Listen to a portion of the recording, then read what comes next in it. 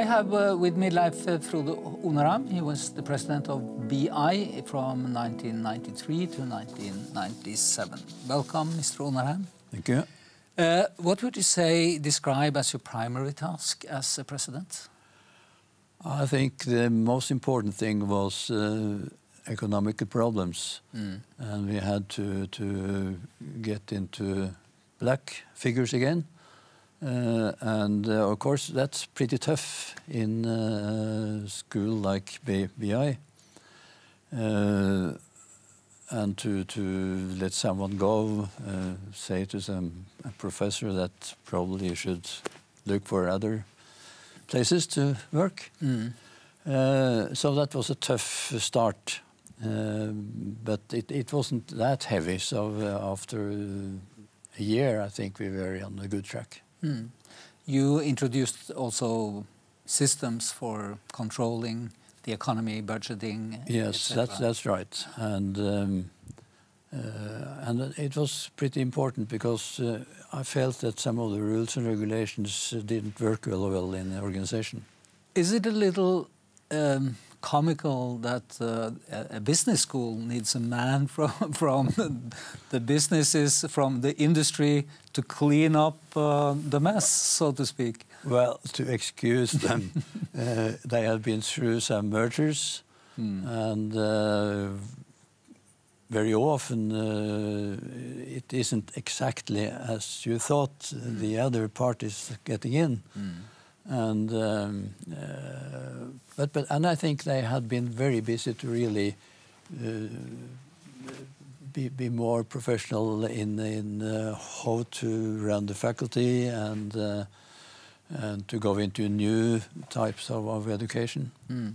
You're also eager to um, connect BI to the Norwegian businesses and industry, the, the workplaces, so to speak. Yes, How did it go about that? That's right. Uh, of course, I had a good contact with with uh, with business, but uh, it was very important to increase that and to, to really uh, have good contacts, especially with uh, with uh, medium and larger companies.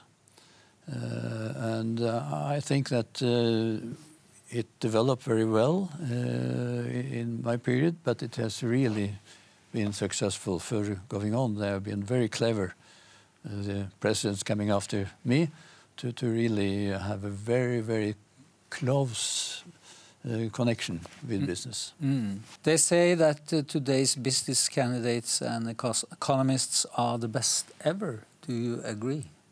I think in general, schools are much better now than when I grew up. And uh, I think uh, You took BI your degree in 1960.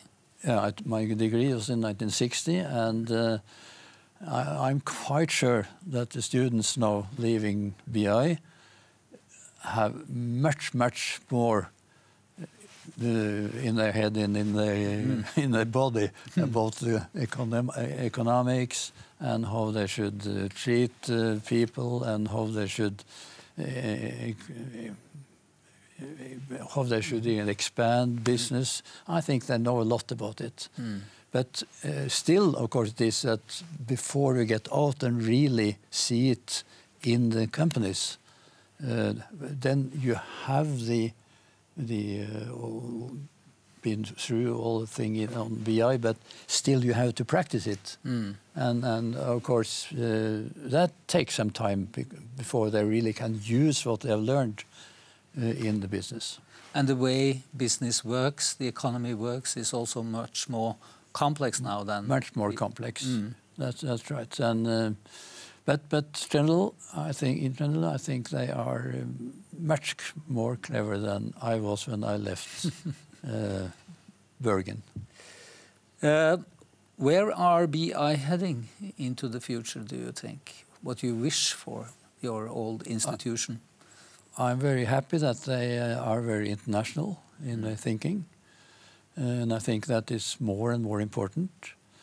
Uh, I hope also that they can be in the front uh, with all these new things coming up. Uh, we have to redesign a lot of, uh, companies for how they are working. So I hope that they will be in front actually with that transfer. And I have no reason to believe that they won't be it. And I think they, as they also are so international, I think that uh, helps them in, in seeing uh, what is the future uh, problems we have to, to, to address. Mm. Thank you, Mr. Onara.